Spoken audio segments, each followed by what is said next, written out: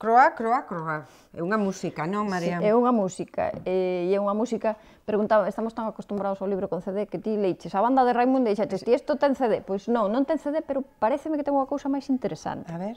Mira, a banda de Raimunda de Pablo Nogueira e, e ilustracións de Manuel Uía, pois é un contiño no que a protagonista, que é esta Ra, que se chama Raimunda, ela di que, que quere ser roqueira. A súa ilusión é formar un grupo de rock, Ajá. pero canta mal, e non debes saber moi ben tocar os instrumentos. O único que fai é ese croc, croc, croc, croc que ti dis. E digo que é interesante porque va seguindo o conto e entón, por exemplo, aquí cando fai croa, croa, croa, aquí abaixo, para que os nenos vayan seguindo, pon, imita o son dunha rá. E teñen que ir facendo, facendo. eso. Logo, a vez eh, que fai lemos, outra cousa, temos que... e pon, coloca a lingua entre os dentes de arriba e os de abaixo para facer o zumbido dunha mosca. Teñen que ir facendo esas cousas, non? Pero bueno, a historia eh, transcurre eso, que Raimunda vai polo bosque intentando a ver, a ver como pode facer para, para facerse roqueira, non?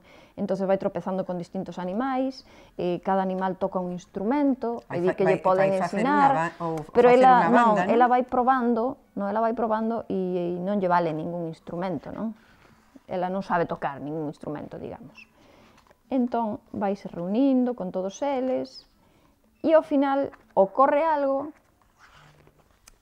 que fai que mm, realmente eh, o que nos está a decir é que todos podemos ser iguais e todos podemos conseguir as mesmas cousas se o intentamos.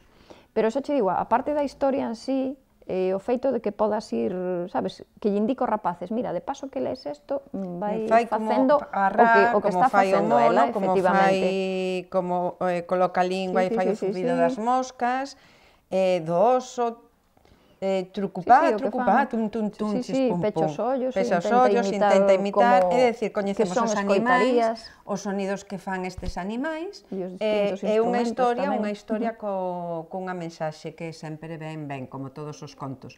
Eh, gústame o formato do libro, tamén as ilustracións que son que son moi sí, bonitas. Eh. eh, podemos decir que son pa pequerrechos, verdad? Sí. Para os máis pequenos da casa. Bueno, os máis máis non, pero si, sí, bueno, 5, 6 anos, eh, máis ou menos 7, si. Pois xa saben eh, para os máis pequenos da casa, que, va, que un ratiño con esta, con esta ra raimunda.